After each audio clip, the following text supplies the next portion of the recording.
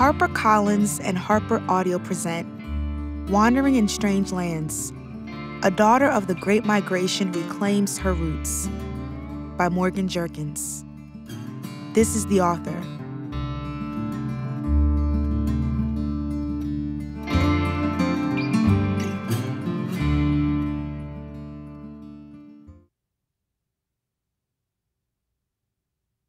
Prologue The Milkman's Baby.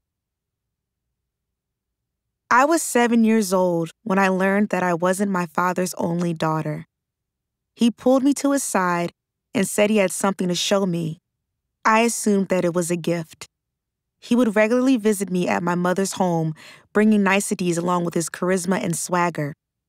Instead, he pulled out his wallet and showed me photos of three girls before saying, these are your sisters.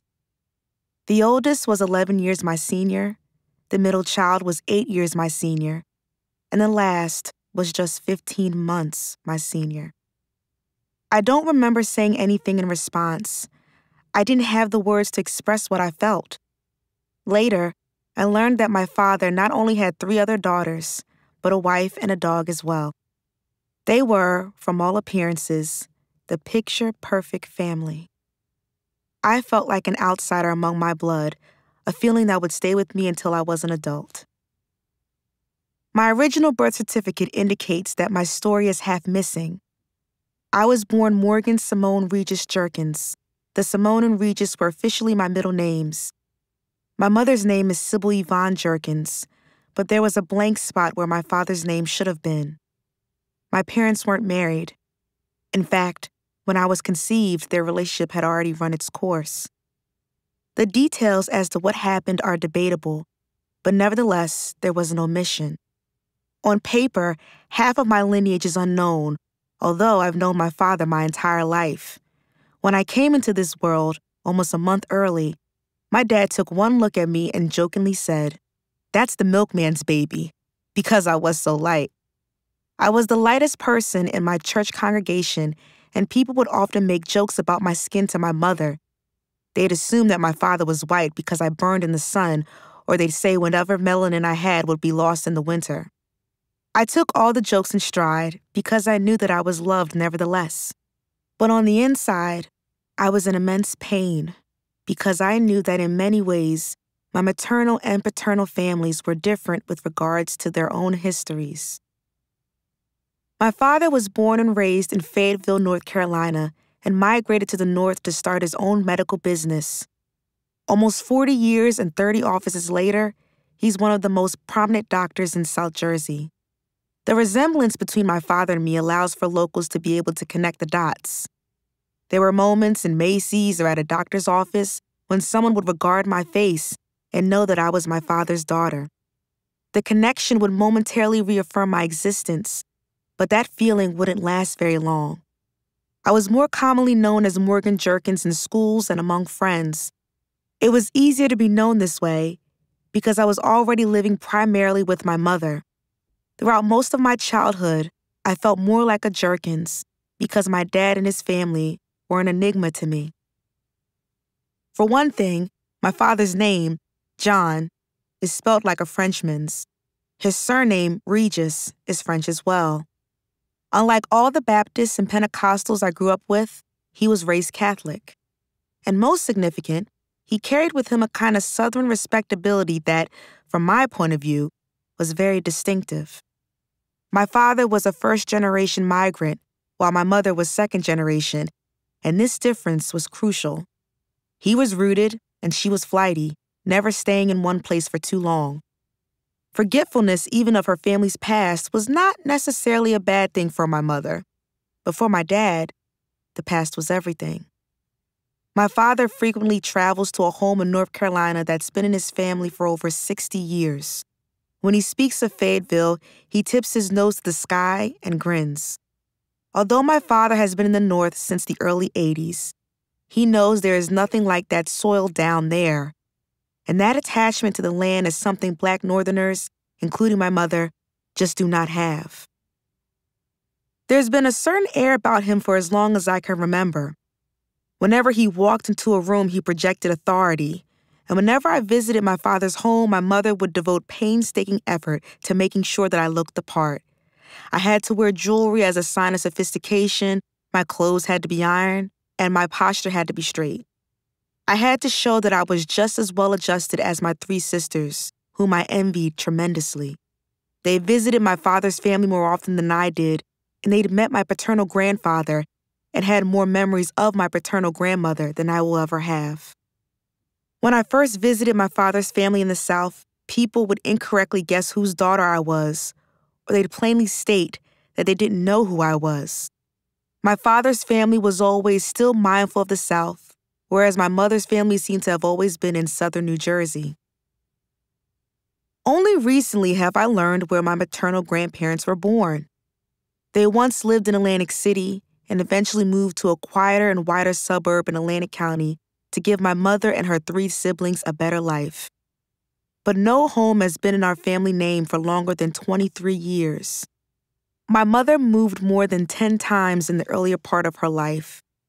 These vicissitudes might signal an erratic nature to an outside observer, but my family was simply conditioned to believe that movement meant advancement. Every home had to be better than the last. Being too grounded might lead to stagnation. We weren't rooted like my father's family. The Regis's oral histories were abundant, whereas those of the Jerkinses were vaguer and incomplete.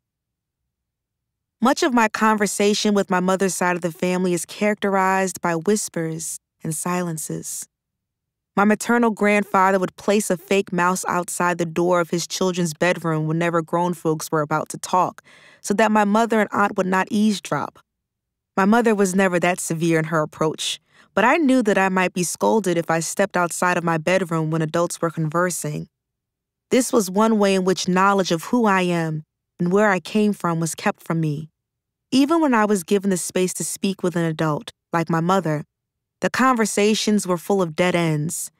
As a child, if I ever inquired about why we sang a particular song at a family dinner or why we held certain superstitions, I was never satisfied with the answer. That's just what we do, or that's just what black people do, was never good enough for me. As an adult, I realized that my family simply didn't know how to draw connections with how they think, act, and navigate their lives in a way that forges a community of relatives. They might have been satisfied in the unknown, but I wasn't. No one spoke about the past. The goal was to move forward and never look back. Neither my mother nor I has taken a trip to the South to visit family. We don't talk about the soil like my father and his people. We can talk about the make and model of cars with more accuracy than about the flora and fauna of our homeland. While my father prides himself on origins, my mother prides herself on originality. She believes that you can create your own identity as long as you keep moving. I moved to New York in 2015 as a way to not get stuck, forging an identity as an author and editor in the hub of the publishing world. When people would ask me where I was from, my throat would dry up. New Jersey, I'd reply. If pressed, I'd specify Southern New Jersey. And if their curiosity hadn't cooled by then, I'd say Atlantic City, the most famous locale in the state's southern region. This response would leave me feeling ashamed for two reasons. One, Southern New Jersey doesn't seem so fashionable. And two, I knew that wasn't the full story. I knew that my Jerkins line had to be as storied as my father's, but I didn't know those stories. How did both families arrive in the same county? How did this southern man and this northern woman meet in a hospital, fall in love, and create me? I felt I was midway between two poles, constantly in flux as to who I was and where I came from. My body like my lineage, was a mystery. Because I didn't have a full narrative from either of my two families, I was not confident in my identity and culture. A sense of loss defined both components. My half baked statements about my heritage stemmed from a particularly insular northern upbringing. Yet my story is not uncommon. From 1910 to 1970, six million African Americans made a grand exodus from the South to the Northeast, Midwest, and West Coast in search of a better life. This exodus is most commonly known as the Great Migration. Some had families waiting for them at the other end, while others just took a chance to start anew in a place where no one knew their names. Many families allowed their memories to evaporate along with the steam of the locomotives on which they arrived. Many didn't want to talk about their traumatic experiences in the South. Folks like me are the result of these omissions. I've spoken to people whose families are generations deep in the North to investigate this pestering suspicion that we are still intuitively linked to the South. Often, at the start of these conversations, I'd hear an apology. The people I spoke with didn't know where their families migrated from, and if they did, they never visited. Or they knew where their families migrated from, but they didn't know why their ancestors left or if any family remained on ancestral land. Their grandparents and great grandparents didn't talk about the past, so they didn't know how much help they would be to my project. I'd assure them that I knew what it was like to carry blank spaces and missing pieces. We held no confidence in our origins as African Americans. We resided at terminal points in history, unable to look back. According to historian and University of North Carolina Chapel Hill professor W. Fitzhugh Brundage, much about the transmission of African American memory, for example, remains terra incognita. Historians have been silent about how deep structural changes in African American communities since the mid 20th century have affected the dissemination of African American memory. Much of the information lost during major internal migrations of African Americans has yet to be accounted for. Documentation takes precedence over oral history, a Eurocentric outlook that prioritizes the written word over our own voices. If we were to take my life as an example, documentation initially proved that half of my parentage was lost, even though I knew who my father was. I carried Regis as a middle name even while my father's name was absent from my birth certificate. What of the countless families whose lives have been documented, yet whose realities offer an opposing narrative? Because ruptures in cultural memory characterized much of my life and the lives of others in my community, I decided to consider these gaps an opportunity rather than an impasse. I was weary with my conception of self, of the diaspora, as one of loss. I was frustrated by how much had been lost from our arrival to the colonies during the transatlantic slave trade to the post emancipation period, when we scattered across the country in massive waves. But the glimmering moment emerged when I wondered if both of my families had been in this country for several generations, then could it be that a significant recovery of my family's history could be made right here on this American landscape? The only way to find out was to make a journey in reverse and create symbolic bridges between those families who fled and those who remained on the lands of their people. For this book, I traveled to the Georgia Low Country, to South Carolina, and to Louisiana to speak to some of the oldest microethnic groups of African Americans before traveling west of the Mississippi to further detail the effects of migration on memory and Black identity in Oklahoma and California.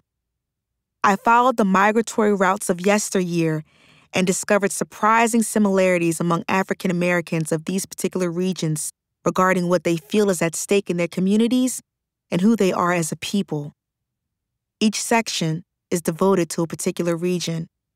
In each chapter, I've included the scraps, rubble, and frayed threads of my personal history alongside those of descendants of migrants to illuminate how cultural conditioning via religion and spirituality, connection with nature, or understanding of Black identity has been altered through both systemic and personal forces.